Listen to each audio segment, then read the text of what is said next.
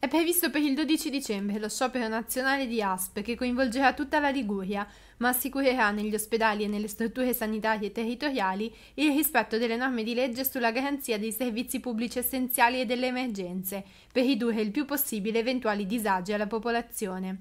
Saranno garantiti l'assistenza di urgenza e il supporto attivo alle prestazioni specialistiche, diagnostiche e di laboratorio, compresi i servizi trasfusionali.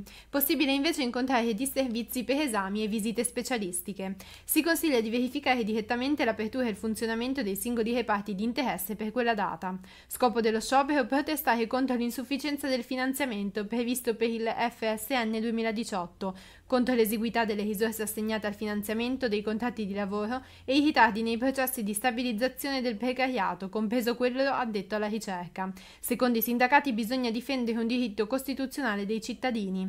La legge di bilancio 2018, riferiscono, esclude la sanità, unico settore della pubblica amministrazione tagliato fuori da politiche di investimento e di rilancio.